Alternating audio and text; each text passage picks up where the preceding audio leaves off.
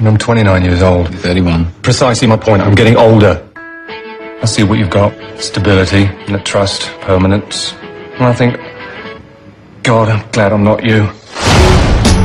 I've loved Rachel since the day we met. Imagine me and you. I do. I you're gorgeous. Want to uh, fool around?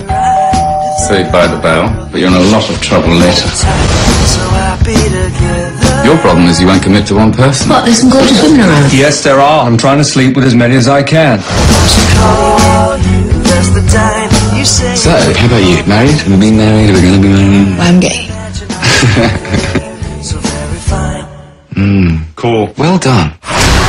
Shag me. If I'm wrong, but I think you want to kiss me. It's not gonna happen. It's not. I'm a cure for lesbianism. Do you guys believe in love at first sight? That you could meet someone across a room, and with that one glance you could look in their eyes and see their soul? No. Absolutely not.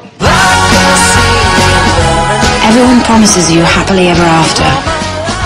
But life turns into a different kind of fairy tale. Are you in love with someone else? Who is the lucky chap?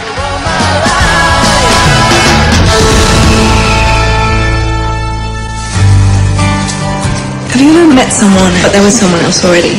Does she love you? But it doesn't matter. Oh, it's all that matters. What day is it? And You make me feel something I absolutely cannot feel. I can't. I know.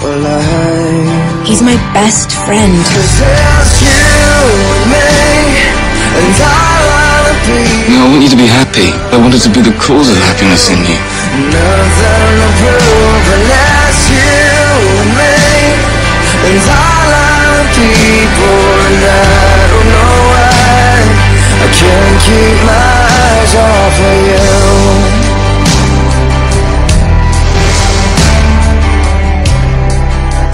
Anyone can change teams.